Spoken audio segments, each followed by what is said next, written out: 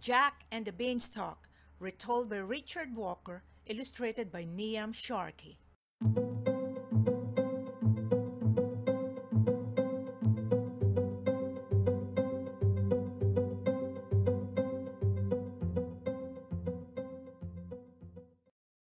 I'm not going to start by saying that Jack was lazy. When there was an adventure in the offing, he was not lazy at all, but most of the time he just did a little bit of this and a little bit of that.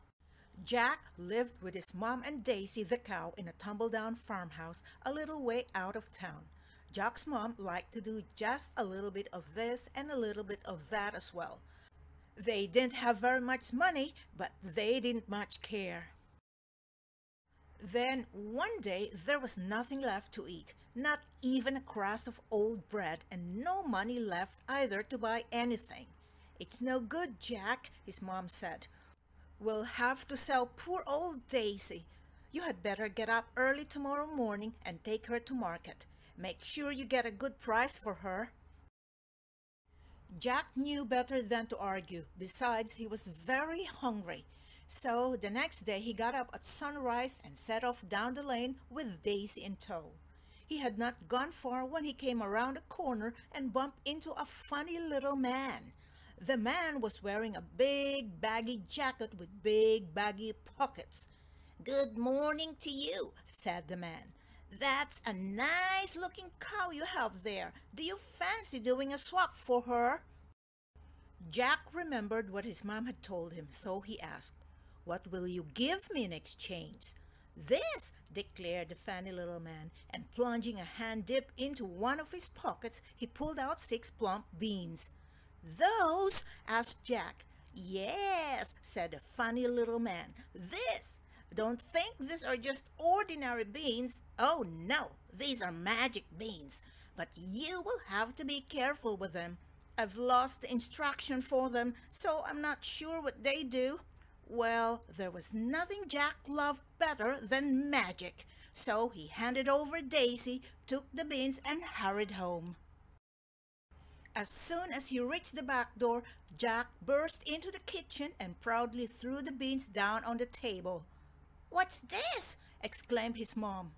They're magic beans, Mom. I swapped them for Daisy. At least we've got something to eat. Well, we will have when they've grown. Jack's mom was furious. She went white in the face and shouted and stomped. Then she threw open the window and flung the beans outside. That night, Jack and his mom went to bed feeling miserable and hungry. But in the garden, things began to happen. The beans slipped down through cracks in the ground. Their roots wriggled deep into the earth and shoots pushed upwards.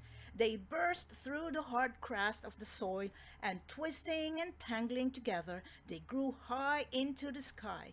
They kept on growing and growing until they reached the land of the clouds.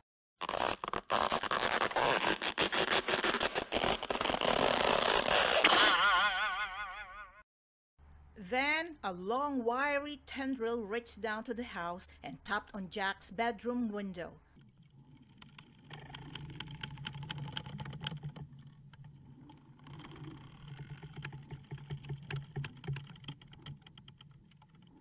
Who's that? Jack yawned. He saw strange shadows in the moonlit window, and not sure whether this was a dream or a real adventure, he padded across the room and drew back his curtains. There, bending and swaying in the moonlight, was the most enormous beanstalk he had ever seen. I wonder where the top of it goes to, Jack said to himself. There was only one way to find out. Without stopping to think twice, he clambered over the window sill and started to climb. Soon the house was just a tiny dot far below. Still he made his way upwards.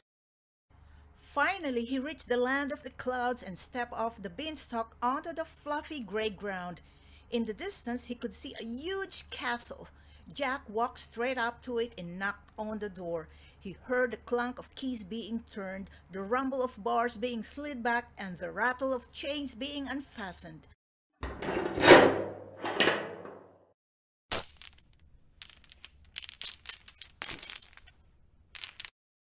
Then at last the huge door creaked open a crack and he saw a little old woman peering at him by the light of a candle.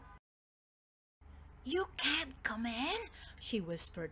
He'll be back soon.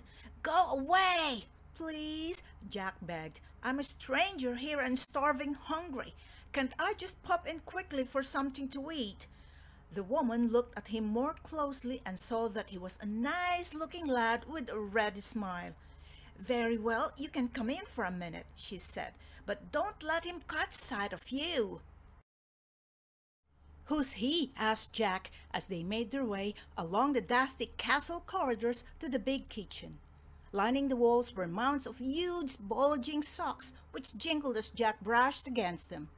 The giant, of course. If he catches you, he'll eat you for sure. He's got a foul temper, so you'd better keep out of his way.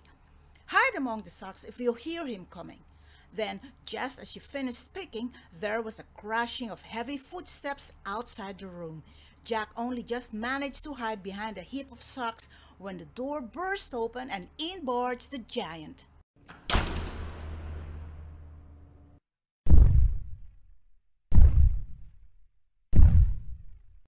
Fee, fi, fo, fum. I smell the blood of a stinky man. Where is he, woman? Where are you hiding him? The giant sniffled his way round the room until he came close to where Jack was hiding. Oh, don't be silly, said the old woman. All you can smell is the stew I've made. I was trying a bowl of it to make sure it was good enough for you.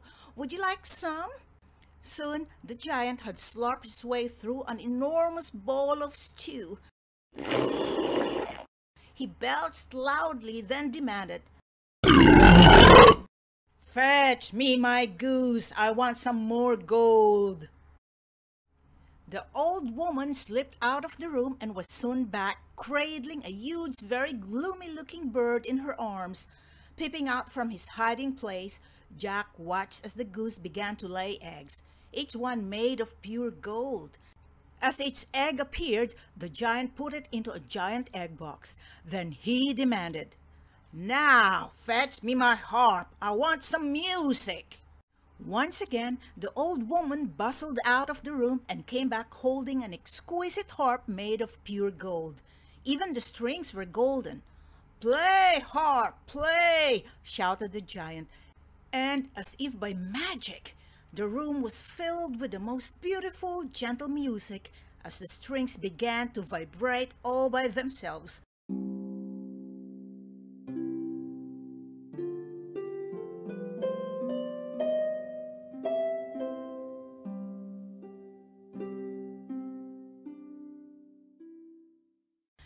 The giant fell asleep, and his snuffling and snoring echoed round the room.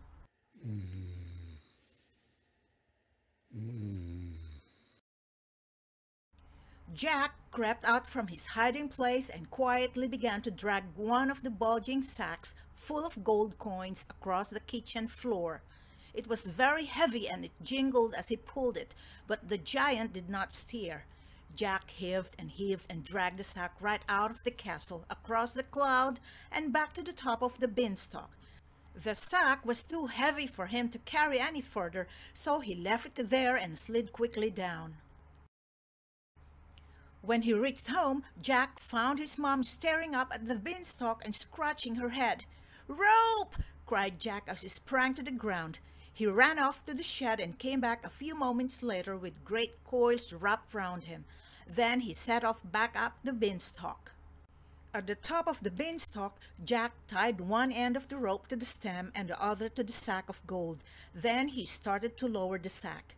After a while, he felt the rope become loose and he knew that the sack had reached the ground safely and that his mom had untied it.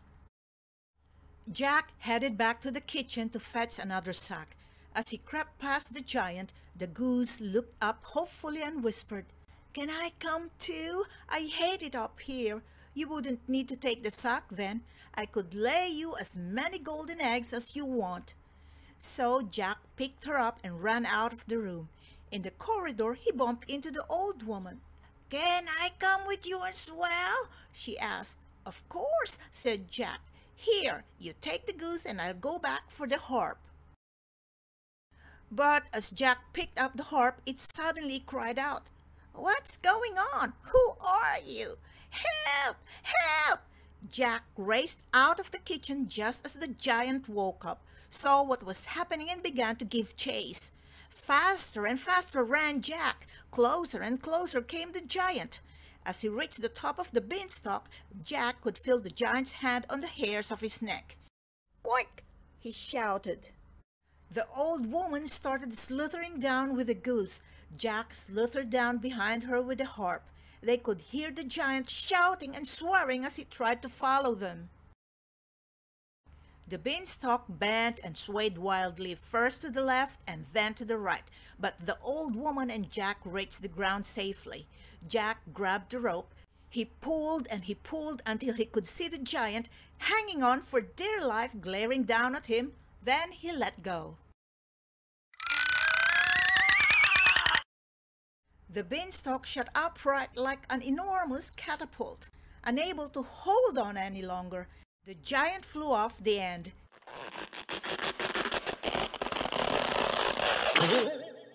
He soared away into space and was never seen again. And as far as I know, he's still there. The old woman went inside to make a pot of tea. Mom put the golden harp on the kitchen dresser and Jack made the magic goose a special hut. He put the sack of gold in the cellar and took out a coin whenever he needed to buy something. And the last time I went to visit, the harp played jigs and reels, so we all had a merry dance.